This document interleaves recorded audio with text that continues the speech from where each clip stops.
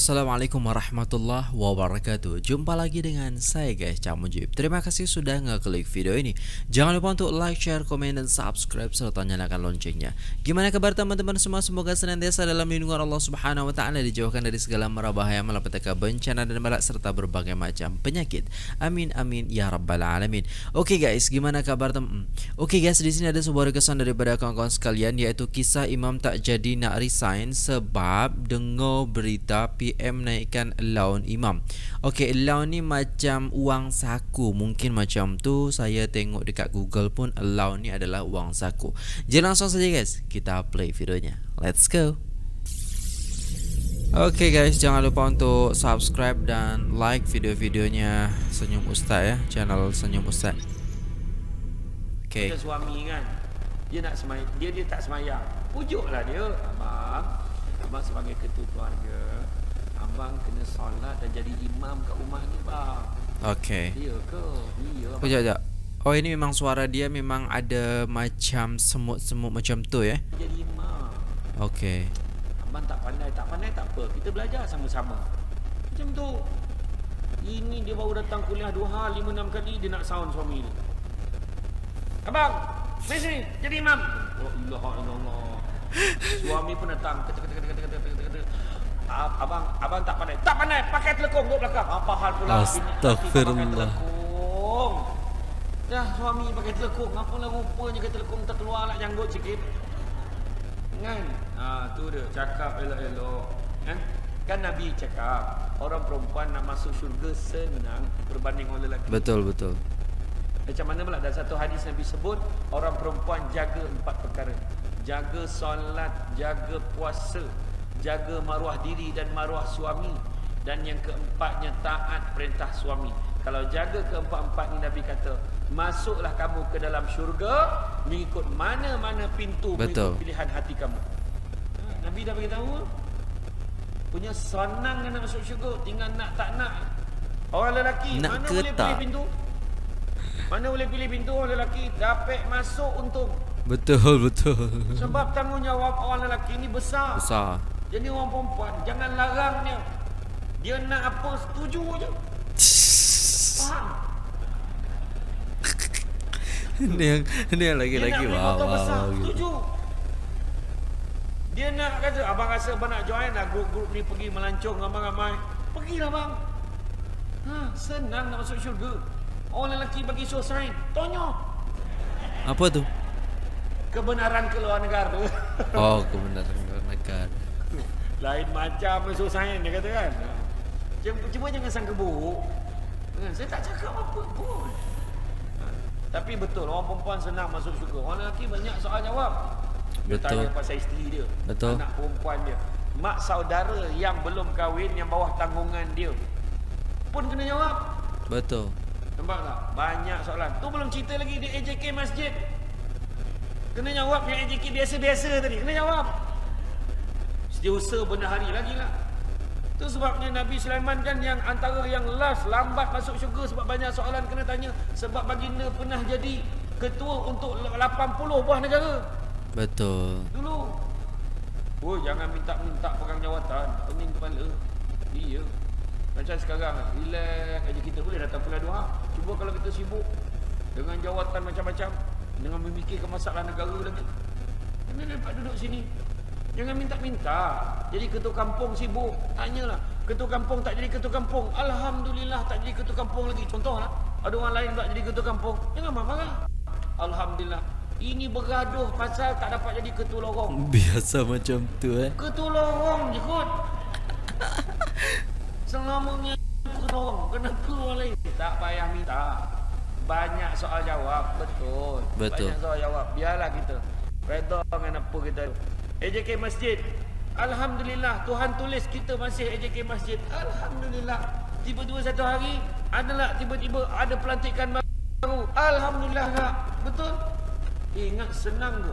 Jadi AJK Masjid ni lagilah. Tiap-tiap mhm. karya memang ada wakil masuk air. Ada je benda tak puas hati. je tengok. Perkumpulan wanita kan. Tu tengok. Ada je. Tak apa benda nak kutip duit dia. Organ tak ada. Ada tu Kutip duit, kutip duit. Eh. Orang masjid pun kena. duit banyak, program tak ada. Jawab balik kat dia, program banyak kau yang tak ada. Betul betul betul betul. Masjid gak ada duit gitu kan Ya Kotek kotek kotek ya Dan kalau memang dah banyak duit Eh tak ada acara Tak ada Alamak Memang betul lah Manusia ni Dia ni memang komplain. Imam ni salah, imam tu salah. Imam ni baca panjang salah. Imam tu pendek salah. Imam tak bunyi lagi salah. Semua komplain. Betul. Dulu adalah satu negeri itu saya tak nak sebut mana. Imam-imam tu diminta lepas jawatan. Sebab dia tak berapa dah tak kedaya kan. Mhm. Bagilah imam yang muda-muda tu. Dia pun tulislah surat hantar kat pejabat mufti lepas jawatan imam. Besok tu Perdana Menteri umum allowance imam naik. Dia minta balik surat tu. Tak jadi dia berhenti. Boleh lagi ni dia kata. Eh, nampak payah juga kan. Nah, tapi saya tak nak sebutlah negeri mana. Dia kan ada mana yang dah yang macam walaupun dia dah berusia tapi bacaan dia masih jelas. Okey. Betul. Jadi kalau memang kita menjadi imam tu memang kena uh, jelaslah bacaan tu. Kalau tak jelas memang membuat jemaah tu macam uh, macam mana ya? Saya pernah uh, mendapatkan salah satu imam yang memang uh, dah memang tak larat lah untuk jadi imam. Bacaan dia pun tak jelas macam tu. Kita macam was-was je. Ni betul ke tak bacaan dia macam tu? Tapi kalau imam uh, bacaan dia lagi uh, bagus ya kan? Maksudnya bacaan dia jelas macam tu okey lah. Tapi kalau dah tak larat ataupun ya memang uh, bacaan dia tak jelas boleh mengundurkan diri macam tu. Bukan apa-apa sebab memang uh, kadang jemaah tu pernah saya juga di salah satu masjid ada imam tu macam tak jelas lah kalau kita dengar kalau kita dengar tu baca al-fatihah je tak jelas. Lepas tu baca surat pun panjang pendek dah tak larat macam tu. Dan alhasil setelah solat tu saya tengok ada orang lagi yang uh, solat lagi macam tu. Uh, I tak faham juga apa yang terjadi tapi memang keyakinan seseorang kan beza-beza macam tu. Jadi buat masjid atau mana-mana pun surau dan mana-mana kalau memang ada yang lagi bagus bolehlah dia diangkat menjadi imam macam tu kan. Tak kisahlah bunyi dia slow pun tak Aha. apa tapi dengan bantuan mikrofon okey. Betul. Kadang ada yang bacaan dah tak berapa jelas. Ha. Hmm. Bismillahirrahmanirrahim.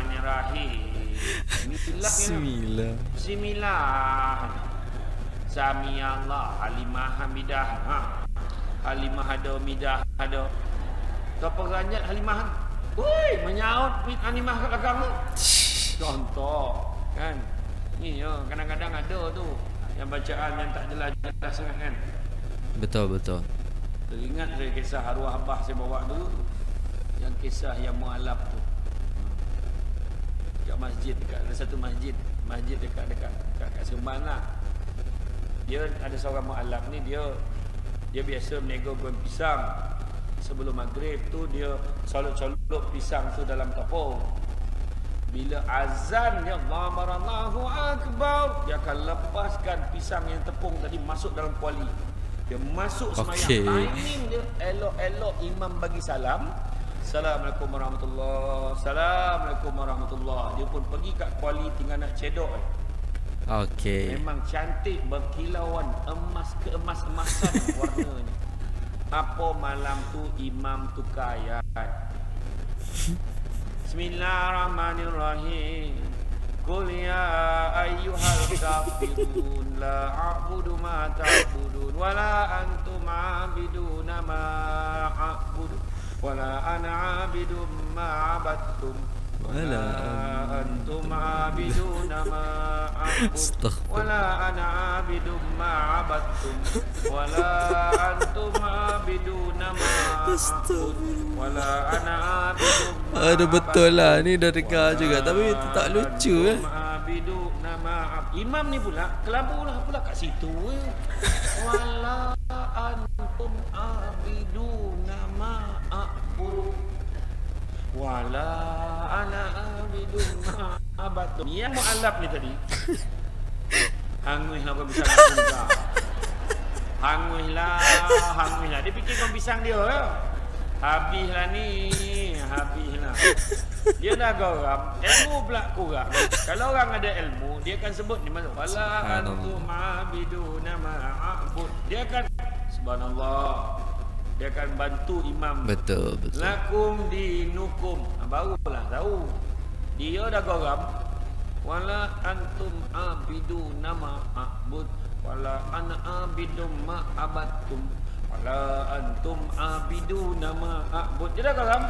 Dia pun cakap, itu waliyadin taramari ke? Lakum dinukum waliyadin. Mau dapat tapi batal semayang dia bercakap. Betul, betul. Kan?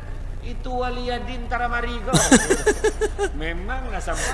Tapi imam tu tapi batal semayang dia sebab dia bercakap. Betul, betul. Aduhai kan? Tu dia.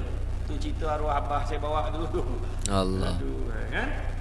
Oke okay guys, sudah selesai videonya. So itulah tadi kisah Imam tak jadi resign sebab dengar berita PM naikkan allowance Imam. Aduh, memang betul lah. Ha, alamak, memang ya dalam beberapa kasus memang kita boleh dengar ada jemaah-jemaah yang memang uh, tak apa nama tak selesa dengan bacaan-bacaan imam macam tu tu memang membuat kita terganggu macam tu. Dan memang uh, kita sebagai imam tu kena sadar tahu kalau kita memang dah tak larat untuk bacaan-bacaan al-Quran uh, panjang pendek ataupun suara kita dah tak jelas macam tu bolehlah jangan sekali-kali kita jadi imam.